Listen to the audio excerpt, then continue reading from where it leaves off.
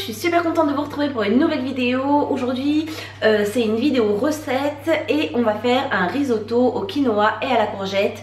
Alors ne me blâmez pas, c'est pas vraiment risotto parce que du coup le risotto c'est avec du riz. Mais euh, pour changer, on va le faire avec du quinoa. En plus le quinoa c'est un super aliment, c'est très riche en protéines. Euh, et puis c'est une autre façon de le cuisiner, comme ça vous pourrez un peu, le, décliner. Et en plus, entre vous et moi, les risottos avec du riz, je les rate une fois sur deux, je sais pas pourquoi. Alors que celui-ci, je le réussis à tous les coups. Je vais vous montrer ce dont on a besoin pour la recette et ensuite on passe à la préparation. Alors, il vous faut du quinoa, des oignons, de la courgette que j'ai coupée en petits dés, du curcuma.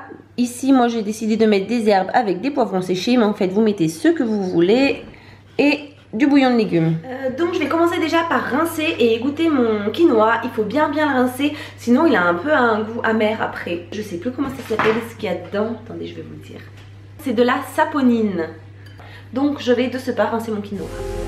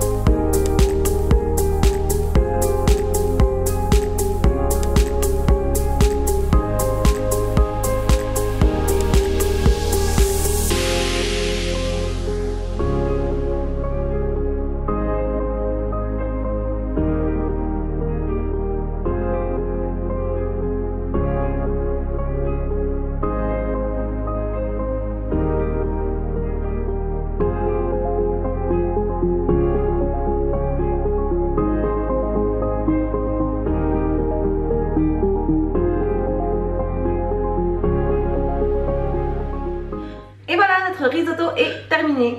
Ça sent trop bon. Euh, vous avez vu, c'est facile à faire. Euh, dans l'autre j'ai peut-être dit que c'était rapide. En fait, euh, rapide, c'est peut-être pas le mot, hein, parce qu'il faut quand même bien 15-20 minutes pour le faire cuire mais euh, mais faut pas 36 000 préparations quoi vous avez vu. Et en plus euh, un truc qui est bien c'est que c'est déclinable selon vos goûts. Si vous préférez mettre des carottes des champignons vous pouvez mettre d'autres épices du paprika du curry etc donc vraiment vous pouvez le décliner comme vous voulez. Moi je coupe pas les courgettes en trop trop petits morceaux parce que j'aime bien quand elles restent un tout petit peu croquantes. Et là c'est le cas elles sont un peu croquantes. Mais si vous préférez qu'elles soient bien bien cuites vous pouvez les couper en, mini bout quoi. En fait elles sont à peine croquantes hein, vraiment à peine Hmm, c'est très bon. Donc la recette au fait je ne l'ai pas précisé mais elle est pour 4 personnes. Donc là je me suis servi un gros bol que je vais manger ce midi. J'en ai gardé un petit peu pour Alex. Et euh, j'ai rempli aussi un tupperware que je vais aller amener à mes grands-parents. Et bien en tout cas j'espère que la vidéo vous a plu. Si c'est le cas je vous invite à mettre comme d'hab un petit pouce bleu. Abonnez-vous si ce n'est pas déjà fait. Prenez soin de vous. Te dis au revoir. Au revoir. Avec une nouvelle coupe hein, comme vous l'aurez constaté donc euh, moi j'aime bien, hein. je trouve que ça change, j'avais envie de changement. Il faut juste que je m'habitue un peu à la frange parce que comme d'hab hein, quand je cherche chez le coiffeur c'est jamais comme j'aurais aimé que ce soit. Donc j'attends qu'elle repousse un tout petit peu, j'aurais préféré qu'elle soit un peu plus longue. Voilà pour mon instant capillaire. Mais peut-être qu'elle est un peu bombée aussi, peut-être qu'il faudrait que je l'aplatisse un peu. Je sais pas. Enfin bref, je m'habitue. Mais c'est bien mais pour une frange, franchement on est toujours bien coiffé. Du moment votre frange elle est bien, après vous pouvez faire ce que vous voulez. Voilà. Donc on passe à la recette. Et euh, oui je me suis lavé les mains hein, parce que souvent j'ai des commentaires qui disent on touche pas ses chiens quand on cuisine etc mais je les touche pas quand je cuisine je les touche avant après mais pas pendant